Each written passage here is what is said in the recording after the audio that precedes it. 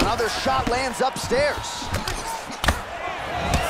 Good series of strikes by him there. Great job of mixing it up, staying active, keeping busy, doing great work. Couple of chins here being tested early.